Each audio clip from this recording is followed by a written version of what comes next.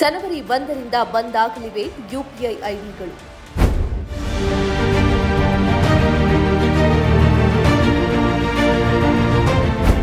Google pay, Paytm ಅಥವಾ ಫೋನ್ಪೇನಲ್ಲಿ UPI ಬಳಕೆದಾರರಿಗೆ ಎನ್ಪಿಸಿಐ ಮಹತ್ವದ ಮಾಹಿತಿಯೊಂದನ್ನು ನೀಡಿದ್ದು, ಡಿಸೆಂಬರ್ ಮೂವತ್ತೊಂದರಿಂದ ಅನೇಕ ಬಳಕೆದಾರರ ಯುಪಿಐ ಐಡಿಯನ್ನು ಮುಚ್ಚಲು ಆದೇಶಿಸಿದೆ. ಎನ್ಪಿಸಿಐ, ಗೂಗಲ್ ಪೇ, ಪೇಟಿಎಂ ಮತ್ತು ಫೋನ್ಪೇಗೆ ಸುತ್ತೋಲೆ ಹೊರಡಿಸಿದ್ದು. ಒಂದು ವರ್ಷದಿಂದ ಸಕ್ರಿಯಗೊಳ್ಳದ ಯುಪಿಐ ಐಡಿ ಅಂದ್ರೆ ಒಂದು ವರ್ಷದವರೆಗೆ ತಮ್ಮ ಯಾವುದೇ ಯುಪಿಐ ಐಡಿಗಳೊಂದಿಗೆ ವಹಿವಾಟು ನಡೆಸದ ಬಳಕೆದಾರರನ್ನ ಡಿಸೆಂಬರ್ ಮೂವತ್ತೊಂದು, ಎರಡ್ ಸಾವಿರದ ಇಪ್ಪತ್ತ್ ಮೂರರ ನಂತರ ಮುಚ್ಚಲಾಗುವುದು ಅಂತ ಹೇಳಿದೆ. ಎನ್ಪಿಸಿಐ ಲಾಭರಹಿತ ಸಂಸ್ಥೆಯಾಗಿದ್ದು, ಇದು ಭಾರತದ ಚಿಲ್ಲರೆ ಪಾವತಿ ಮತ್ತು ಇತ್ಯರ್ಥ ವ್ಯವಸ್ಥೆಯಾಗಿದೆ. ಅಂದರೆ ಫೋನ್ ಪೇ ಗೂಗಲ್ ಪೇ ಮತ್ತು ಪೇಟಿಎಂನಂತಹ ಅಪ್ಲಿಕೇಶನ್ಗಳು ಈ ಮಾರ್ಗದರ್ಶನದಲ್ಲಿ ಕಾರ್ಯನಿರ್ವಹಿಸುತ್ತವೆ.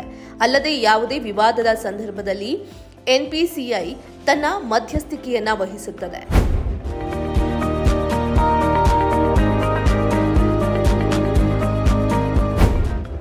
ಎನ್ಪಿಸಿಐನ ಸುತ್ತೋಲೆಯ ಪ್ರಕಾರ ಒಂದು ವರ್ಷದಿಂದ ಬಳಸದ ಯುಪಿಐ ಐಡಿಯನ್ನ ಮುಚ್ಚಲು ಕಾರಣ ಬಳಕೆದಾರರ ಸುರಕ್ಷತೆ. ಇತ್ತೀಚಿನ ದಿನದಲ್ಲಿ ಆನ್ಲೈನ್ ವಂಚನೆಯಂಥ ಅನೇಕ ಪ್ರಕರಣಗಳು ಬರ್ತಿವೆ. ಅಲ್ಲಿ ಆನ್ಲೈನ್ ಯುಪಿಐ ಐಡಿಗಳನ್ನು ಸಹ ಮೋಸಗೊಳಿಸಲಾಗ್ತಿದೆ. ಅಂಥ ಪರಿಸ್ಥಿತಿಯಲ್ಲಿ ಆನ್ಲೈನ್ ಯುಪಿಐನಿಂದ ಉಂಟಾಗುವ ಹಗರಣಗಳನ್ನು ತಡೆಯಲು ಎನ್ಪಿಸಿಐ ಈ ಆದೇಶವನ್ನ ನೀಡಿದೆ. ಅನೇಕ ಬಾರಿ ಬಳಕೆದಾರರು ತಮ್ಮ ಹಳೆಯ ಸಂಖ್ಯೆಯನ್ನ ಡಿಲಿಂಕ್ ಮಾಡದೆ ಹೊಸ ಐಡಿಯನ್ನ ರಚಿಸುತ್ತಾರೆ ಇದು ವಂಚನೆಗೆ ಕಾರಣವಾಗಬಹುದು. ಅಂಥ ಪರಿಸ್ಥಿತಿಯಲ್ಲಿ ಎನ್ಪಿಸಿಐ ಪರವಾಗಿ ಹಳೆಯ ಐಡಿಯನ್ನ ಮುಚ್ಚಲು ಸೂಚನೆಗಳನ್ನು ನೀಡಲಾಗಿದೆ.